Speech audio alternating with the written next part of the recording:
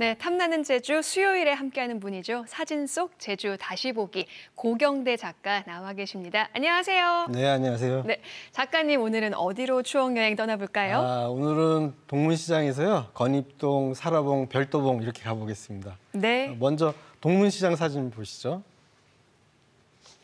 어, 캄캄한 밤중의 시장인데요. 1970년대에도 동문시장에 야시장이 있었나 봐요. 네, 잘 보이실지 모르겠는데 에, 동문시장 청과야 시장입니다. 네. 에, 바닥을 보시면 시멘트 길인데요. 아마 산지천을 복개한 위에 조성된 시장 모습인 것 같습니다.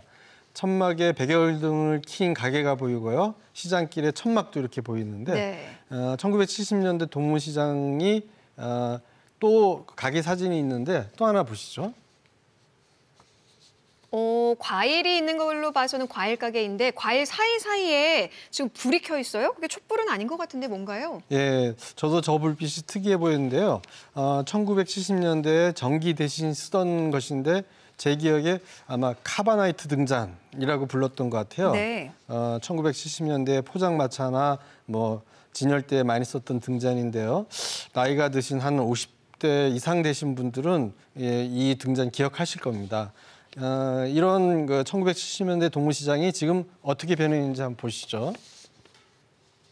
와, 지금은 이제 동문시장에 지붕 위에 이제 천막 대신에 좀 아케이드가 설치가 됐고요. 네. 비가 와도 바람이 불어도 편리하게 쇼핑할 수 있도록 잘 정비된 모습이고 좀 더 밝아요. 예, 지금은 시장길에 지붕도 씌우고 간판도 잘 정리하고 진열도 잘 돼 있고요. 조명도 밝아지고요. 네. 어, 지금은 주로 관광객을 대상으로 하는 가게들이 많아진 것 같습니다. 그렇게 동문시장이 변하긴 했는데요. 그래도 제철에 나는 물고기, 야채들이 계속 있는 큰 상권이 있는 곳이죠. 아, 아버지가 동문시장에서 기름 짜는 집을 찍은 사진이 있는데요. 그것도 보시죠. 기름집 써 있네요. 예, 예. 저 기름집 앞을 지나가면 고소한 냄새가 나잖아요. 예. 시장에서 맡는 기분 좋은 냄새 중 하나인데요. 예, 이 기름집은 어, 동문시장 입구에 있었던 가게인데요. 음, 이런 기름집이 동문시장에 많이 있었다고 합니다. 네. 저 기름집 간판에 어, 전화번호 보이시나요? 어, 전화 국번호가 한 자리예요. 예, 그렇습니다. 아마 이게 1970년대 때일 것 같아요. 예, 이 산지 기름집은 어, 1990년대 물난리가 나면서 길이 확장되고 그래서 예, 없어졌다고 합니다. 그렇군요. 어, 그이 말씀은 이제 1988년에 이 기름집을 인수해서 운영하시고 지금도 시장 안에서 어, 기름집을 하시는 분한테 들었거든요. 네. 어, 이 기름집의 지금 위치는 그, 이, 없어져서 찍을 수 없었지만 이사해서 지금까지 기름집 하신 분의 가게를 찍었습니다. 보시죠. 네. 오, 이사를 하긴 했지만 그 오래된 모습이 그대로 남아 있네요. 예, 어, 동문시장에는 지금도 기름집이 대여섯 군데가 있다고 합니다. 어, 아직도 동문시장으로 기름 짜러 오시는 분들이 마- 많은 것으로 이렇게 얘기를 들었습니다. 아, 지난주에 잠깐 보셨던 동문시장 주변을 찍은 사진이 있는데요. 또 보시죠. 오, 마치 영화 속 한 장면 같은데요. 아, 남자 예. 네두 분이 서 계시고 뒤쪽에 보이는 곳이 동문 로터리 맞나요? 예, 맞습니다. 네.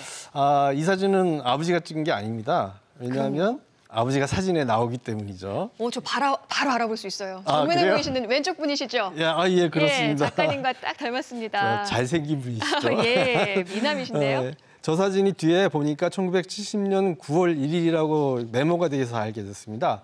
아, 그렇다면 이때 아버지는 44살이었네요. 예. 그때 저 언론에 계셨는데요. 한창 때였던 것 같습니다. 아, 이 사진 덕분에 1970년대 동문로타리 주변을 볼 수 있게 되는데요. 보시면 버스 정류장이 크게 보이고요. 네. 그다음에 그 옆으로 동양극장이 있는데 그 거- 건물이요. 예, 2층짜리 오른쪽에 건물. 있는 건물이죠? 예, 맞습니다. 그, 그 언덕으로 큰 길이 나 있는데요. 어, 동문호타리에서 제주 여산 가는 동쪽 이 길이 어, 당시 가장 빈번한 동일주 도로입니다. 어, 이곳 동문 로타리는 그 제주를 찾는 사람과 물자들이 가장 모이는 가장 번화한 곳이었는데요.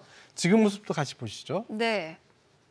와, 예전에도 뭐 건물이 많았지만 지금은 좀 더 커지고 꽉 차 보이는 느낌이에요. 예, 그 오른쪽 끝에 보이는 동문시장, 아 독양극장의 독특한 동그란 창문이 보이실지 모르겠어요. 예, 저 극장 건물은 그 배를 상징하는 모양으로 설계를 했다고 합니다.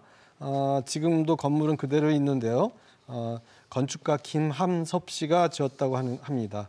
그 오른쪽으로 그 아, 그 아버지 사진에 보면 동촌 목욕탕 간판이 보이시는지 모르겠어요. 네, 예. 작게 보입니다. 예. 목욕탕, 네. 지금 이 건물에 동촌 목욕탕은 없어졌는데요. 같은 이름의 마트가 있어요. 그래서 동촌 마트 이렇게 아직도 있군요. 이름 네. 그대로 쓰는 이런 마트가 있고 이 건물에 사우나가 그대로 있는데요. 시장 상인이 애용한다고 합니다. 저 사진의 언덕길을 쭉 따라가면 동초등학교 그리고 이어서 제주여상이 나오는데요. 그렇군요. 예, 다음 사진도 보시죠. 어, 구슬하는 모습이에요. 네. 제주에선 설 명절 지나면 마을마다 구슬하잖아요. 네. 사진 속 이곳은 어딘가요? 아, 이곳이 칠머리당입니다. 아, 그런데 지금 칠머리당은 사라봉으로 이사를 했는데요. 이 사- 사진 당시는 건입동 칠머리에 있던 본향당이었다고 합니다. 네. 칠머리는 건입동을 부르는 옛말이라고 하는데요. 어, 바로 그런 건입동에 있던 칠머리당에서 영등구슬을 하는 것을 아버지가 찍은 것 같아요. 어, 그곳을 찾아서 같이 찍어봤습니다. 한번 보시죠. 어, 같은 곳 맞나요? 그 터가 놀이터로 변한 것 같은데요. 어떻게 이렇게 쉽게 찾을 수 있었나요? 예, 저도 이- 여기만 보면은 이제 여기에 본- 본향당이 있었다고는 생각을 못 네, 했겠는데요. 전혀 다른 곳 같아요. 예, 다행히 이곳에 건입동에서 칠머리당이었다는 큰 돌 표식을 남겨놔서 알게 됐습니다. 네. 예, 어, 이 칠머리당은 지금 사라봉으로 옮겼는데요. 그 옮긴 사라봉의 칠머리당 사진도 보시죠. 아, 네. 아쉽게도 장소가 옮겨지긴 했지만 네. 지금도 이제 이곳 칠머리당에서는 매년 큰 굿이 열리죠. 예, 사라봉 칠머리당에서는 연등할망 환영굿, 그다음에 그 섬에서 나가시는 송별굿을 크게 하는데요. 어, 지금 칠머리당을 모신 곳은 사라봉과 별도봉으로 갈라진 중간 언덕에 있습니다. 네. 이곳에 가, 이곳에서 가까운 곳에 칠머리당 연수관도 있어서요. 어, 이곳에서 어, 제주 구세대에서 심을 위한 그 프로그램도 하- 하고 있습니다. 아버지가 이곳 사라봉에서 그 다른 사진도 남기셨는데요. 그 네. 사진도 보시죠. 와, 이게 과거 사라봉의 모습인 거잖아요. 네. 요즘은 이 주변에서 운동하시는 분들도 많죠. 해안 풍경이 참 아름답기도 하고요. 예, 아, 이 사진은 사라봉 절벽에서 바로 옆에 있는 별도봉 쪽으로 찍은 것 같은데요. 네. 그 바닥 쪽 절벽도 보이고요. 그 뒤로 해안가가 곤을동 화북입니다. 네, 그렇죠. 그리고 또- 멀리는 뭐죠? 아, 멀리 보이는 게 삼양의 원당봉입니다. 아, 이 사진을 이제 고강민 선생님한테 보여드렸더니요. 그 민속 연구하시는 고강민 선생님한테 예. 보여드렸더니 재밌는 얘기를 해주시더라고요. 일제 강점기 1914년에 일제가 토지 조사를 할 때 사라봉은 당시 제주 북초등학교 학교림으로 지정을 하고 네. 별도봉은 조선시대에 대정 현감을 지냈다 해서 송대정이라 부르니가 소유로 이렇게 적어놨더래요. 그래서 이 별도봉을 송대정 씨가 송대정 영감이 800평씩 쪼개서 건입동, 화북동 사람들한테 소작을 줬다고 합니다. 아, 그러니까 네. 아, 별도봉 밭은 주로 소사료를 사료를 키우는 초랏, 초가집 집을 얻는 새를 키우는 새왓, 보리밭 이렇게 그 경작을 해서 했는데요. 예. 소작료를 내야 하니까 소작인들이 그 노는 땅을 이 없이 그대로 경작을 계속 계속했군요. 예, 경작을 네. 계속해서 나무 자랄 틈이 없었다고 합니다. 그런데 1970년대 이후에 이 초지였던 별도봉이 어, 보시는 절벽 급한 경사에도 어, 초를 심어서 초를 벨 때는 몸에 밧줄을 묶고 떨어지지 않게 아, 고정시켜서 네. 절벽을 내려오면서 초를 베었다고도 얘기를 합니다. 어, 그랬던 이곳이 그 1970년대를 거치면서 소작이 없어지고 육링 사업도 해서 이곳에 나무들이 자라기 시작한 것이죠. 네. 어, 예, 그래서 나, 별도봉이 나무가 무성해졌다고 하- 하는데요. 지금의 모습도 같이 보시죠.